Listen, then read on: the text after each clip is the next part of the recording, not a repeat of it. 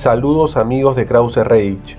Hoy les traemos esta información que nos llega desde Rusia, donde el Ministerio de Defensa ruso informa que su flota sigue los pasos de un grupo naval de la OTAN que entró al Mar Negro con rumbo a Crimea. Esperamos que esta información sea importante y útil para ustedes. Empecemos. Hace unas horas se filtró la información procedente de Rusia que un grupo de seis buques de guerra de la Alianza del Atlántico Norte ingresó a las aguas del Mar Negro y según los datos iniciales, se dirigieron hacia Crimea, aparentemente con rumbo a las costas de Ucrania. Debido a la cantidad, dimensiones y capacidad de los buques de guerra, la flota rusa del Mar Negro comenzó inmediatamente a seguir a los buques considerados como enemigos potenciales. Se informó que la flota del Mar Negro de la Federación de Rusia está monitoreando activamente los barcos de la OTAN ingresaron al Mar Negro el 30 de octubre, dijo el Centro de Control de Defensa Nacional.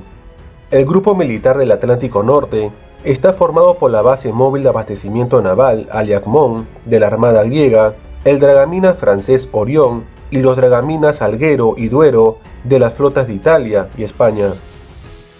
Las fuerzas y los medios de la flota del Mar Negro han comenzado a monitorear continuamente las acciones de un grupo de buques de barrido de minas de la Armada Combinada de la OTAN que ingresó el 30 de octubre al Mar Negro, dijo el ejército ruso.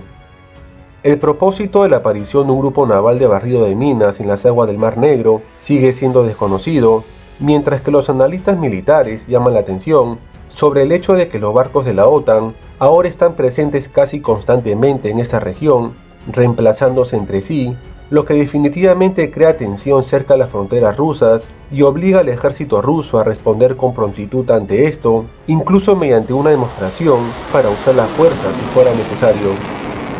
El presidente ruso Vladimir Putin puso énfasis en lo mencionado en la cumbre de la OTAN celebrada en Varsovia, donde se anunció que Rusia es la amenaza principal para la alianza y que su contención será una nueva misión de la OTAN, para lo cual necesitará seguir ampliándose.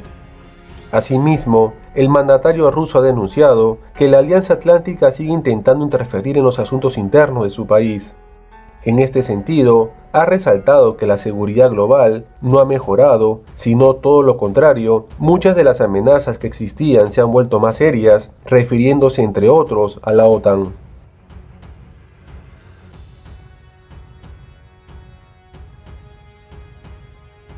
De acuerdo a la información que les he presentado, no se olviden de dejar su comentario o punto de vista, ya que su opinión es muy importante para nosotros.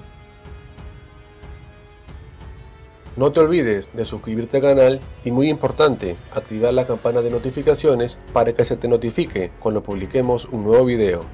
Gracias por visitar Krause Rage Games, donde tú siempre estarás informado.